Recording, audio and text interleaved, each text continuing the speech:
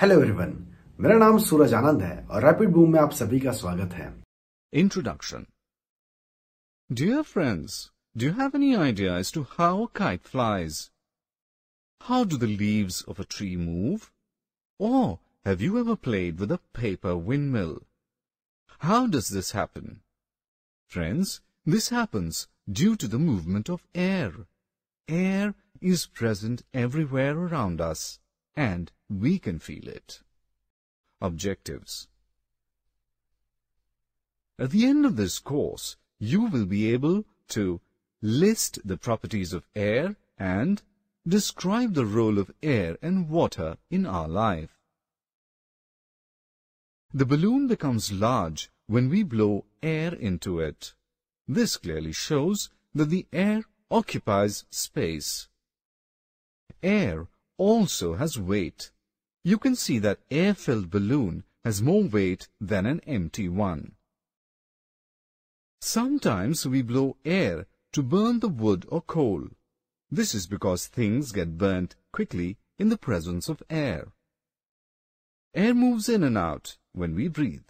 This shows that air supports life.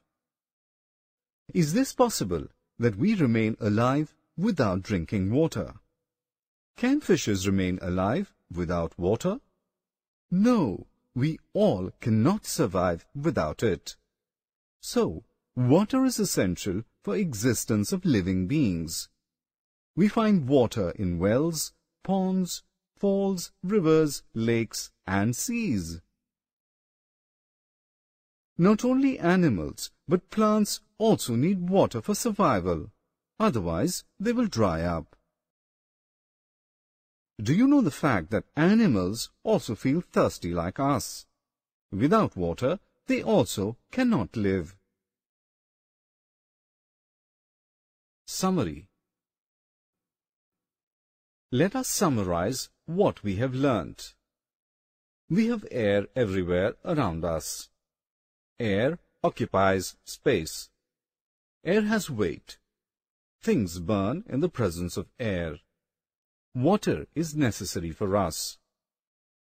Plants and animals need water to remain alive. तो चलिए दोस्तों मिलते हैं अगली वीडियो में तब तक के लिए अपना ख्याल रखिएगा थैंक यू एंड जय हिंद